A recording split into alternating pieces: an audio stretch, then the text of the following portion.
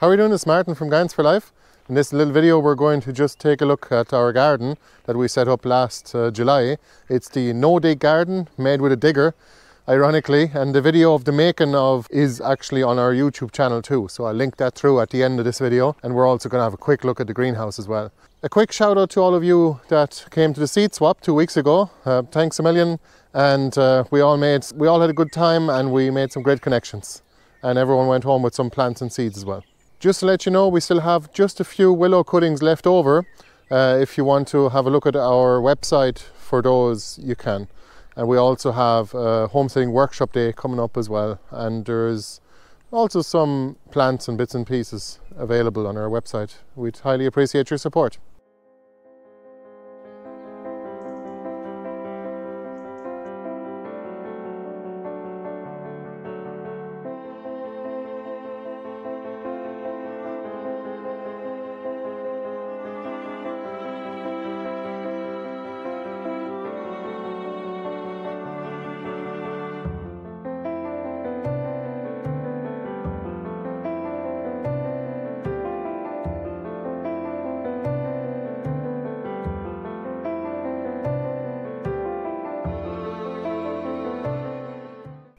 Our new garden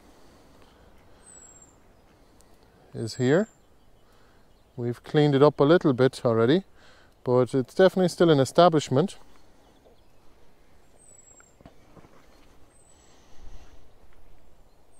But we have basically planted very little this year except for a few um, onions and some garlic. Everything else was already here from last July. I was just um, doing a bit of uh, moonlight gardening here last night and actually weeding out this bit here. Kind of going to try and do a little bit at a time. Just one corner of the garden every day. And if I spend an hour at it every day, I figured after maybe a week or so, I'll be done here for the year, almost. And you can see the chives here they were sort of shaded out by our Swedes that were going to seed here, so we got rid of those. And we are keeping the Sutherland kale one more time for it to seed. It self-seeded last year also, and a lot of you guys probably got the seeds. We're sending out free seeds with every order placed on our website. Celery, and this is the elephant garlic, and it has actually got some scapes already. So those could be picked and I will pick those when I'm ready. Probably do tomorrow morning for breakfast and fry them in the frying pan for a minute. Really nice that way. You definitely want to prevent your garlic plant from putting all its energy into the flower head and making seeds because you want to keep the energy down low in the bulb which is actually underground a little bit. They do look like leeks and that's for a simple reason because all garlic are in the leek family, especially the elephant garlic because it's huge. These are some elephant garlic that were planted a little later, so those were planted um, just recently there about two months ago. So they'll they'll still produce this year though. We also have plenty of lemon balm, and you can see here the grasses are taken over a little bit over here, so I better take care of those and the nettles too. At the very least, chop them back before they go to seed. And I don't mind having some nettles at the periphery of the garden, but I don't want a whole acre of nettles. Oh yes, these are the Egyptian walking onions. Uh, not, not this. That's just that's just grass. These here, that's the Egyptian walking onions. So they'll actually make little bulblets or flower heads and make bulb heads on the top, and then they kind of tip layer and multiply that way. So you can end up with a patch of them. And this part of the garden here has not been weeded, and uh, unfortunately the grasses have taken over the path anyway. So I'm going to take care of that and spread wood chips here. Um, yeah, let's take a look here too. This is the chard that was planted last year. It's going to seed now, so I'm probably going to have to replant it We have to start new chard plants in the greenhouse from seed.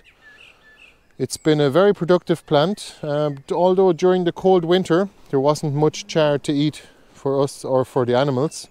But you can see during the growing season, even early on, it is just producing an abundance of food. Absolutely amazing.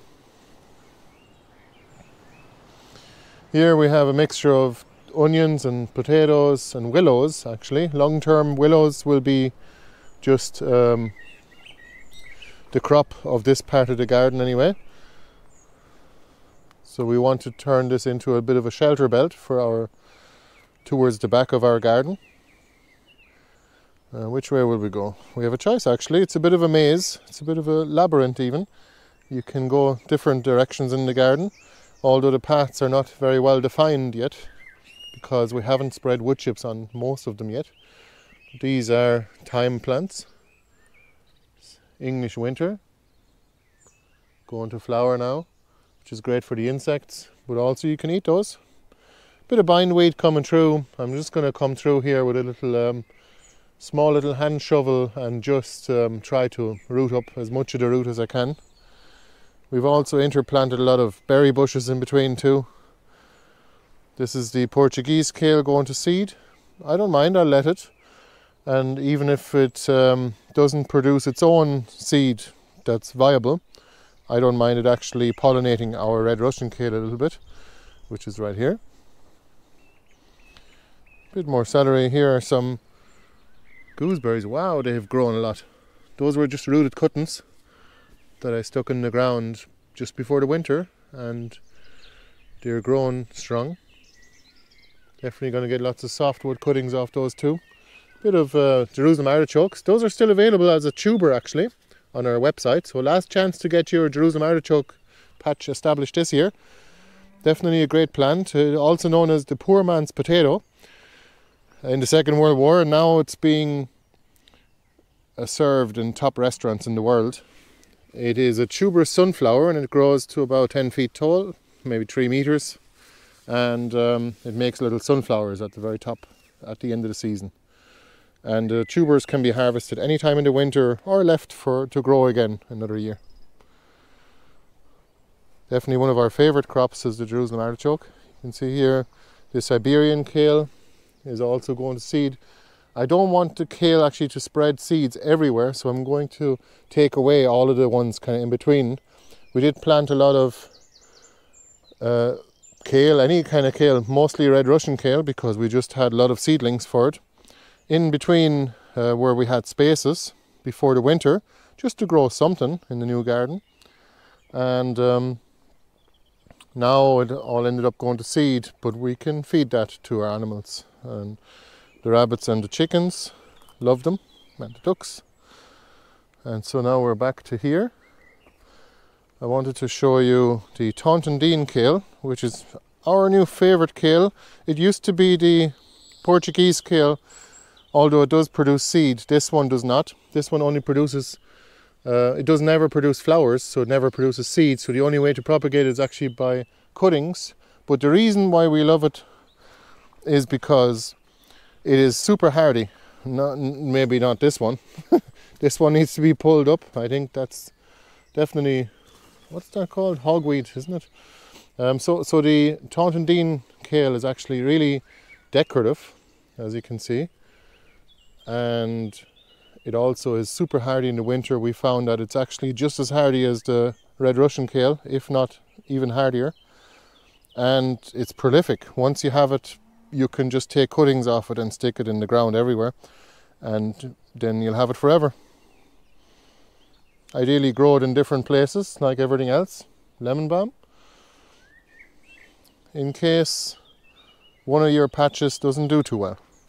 So you're always better to better off to um, grow the same vegetable or the same plant in a couple of different places. You can see here the grass is taken over here I had that covered with plastic for a while last year, but it didn't um, make the difference. It has come back. So this, um, I'll just have to take care of it anyway. These are uh, or the bulbous leek, which will be available uh, on our website in July, so keep an eye out.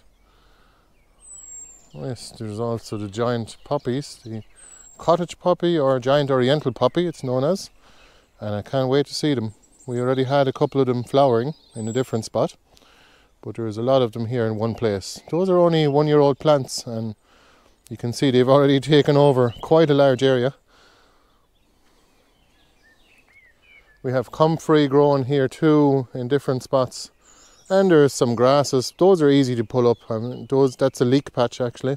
And I knew that there was a problem with um, with the grass there. I just couldn't have covered them with I couldn't have covered it with plastic because we had leeks planted there. So now I'm going to do that after harvesting the leeks.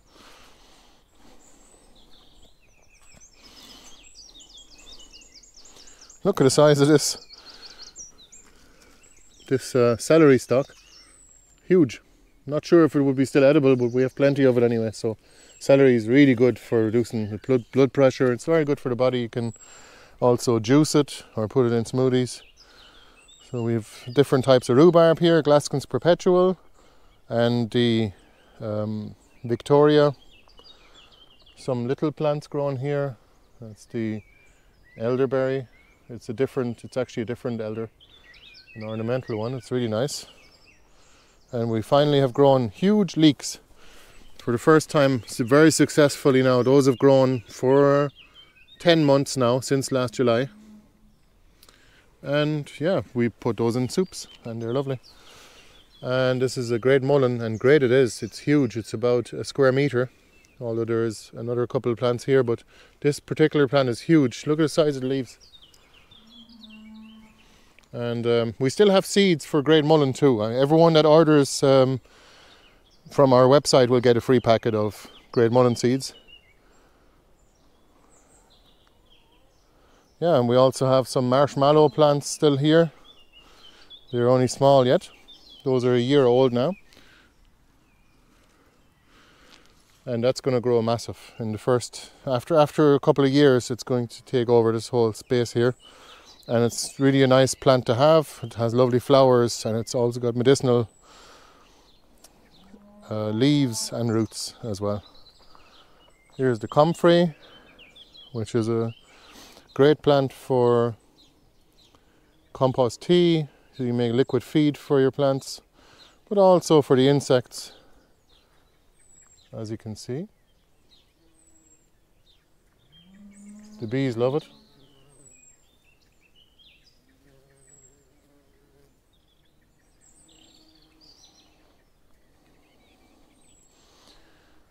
Yeah, so this patch here, this was actually an older part of the garden, this little area here. And um, that was used to be known as the Bumblebee Island because it looked like a bumblebee from the sky. But also um, after that it was called Brassica Island, so which it certainly still is. We have different types of kale here, but we have also interplanted some trees as well. Some smaller trees like elderberry and some buddleia and a bit of a bit, few bits and pieces. And this bit here definitely needs to be taken care of. Creeping buttercup and nettles in the middle and grasses. So that's something that I'll be working on shortly. You can see the path is nice with the wood chips, so we're going to renew all the paths all around now. While it's raining out here, we might as well have a quick look in the greenhouse. This is our compost that we just got delivered. And this is the greenhouse. You can see a few yacons coming up here they're only small yet. Hopefully we're going to get a few more. We almost lost all of our yacons and ocas this year. If any of you guys have any spare yacon crowns, please let me know. We'll happily swap you. So these tomato plants need to go in the ground as well. We have to prepare an area for that in the other greenhouse. Some broadleaf thyme. A bit of corn and generally speaking some vegetables and some perennial plants as well, medicinals and flowers. Usually kale is always first to pop up. Some Chinese rhubarb as well, which is an unusual plant. Some courgettes. I have a feeling we're going to have too many courgettes.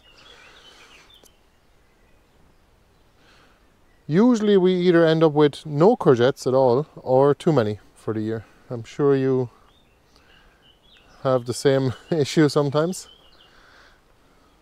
The Swedes coming up. Take a look at the figs here. And there's quite a few of them.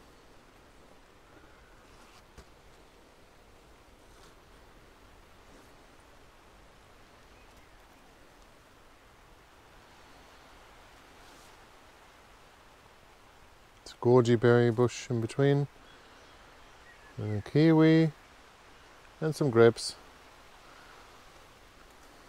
A bit more space to fill yet on our tables. And once the yacons have gone out, we can start another batch of other seeds midsummer. Don't ask me what we're going to do with all these tomato plants, but if any of you guys are local here to Roscommon town, please let us know. We'll happily give you some of those. As I said, we nearly lost all of our ocas and yacons this year, so uh, we got some spare ocas off a friend of ours that is local here. Thanks, Colin. So we're going to grow those on and hopefully multiply them to the point where we can offer them to you guys again later in the year. So thanks for watching the video and don't forget like and subscribe and uh, go to our website and uh, take a look at our online shop. We have a no-dig uh, gardening course online as well. We also have a homesteading workshop day coming up as well. So let us know if you have any questions uh, in the comments below. Thanks a million. see you the next one. Bye bye.